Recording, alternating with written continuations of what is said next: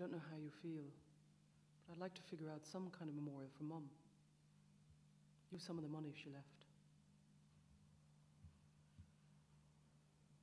Yeah. Definitely.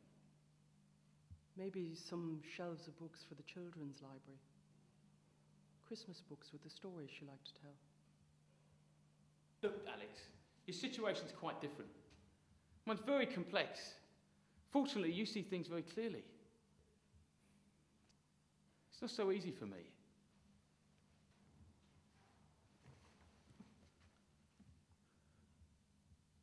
We always remember the terrible things about Dad.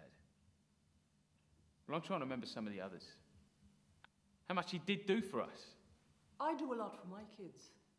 I don't expect them to pay me back at the other end.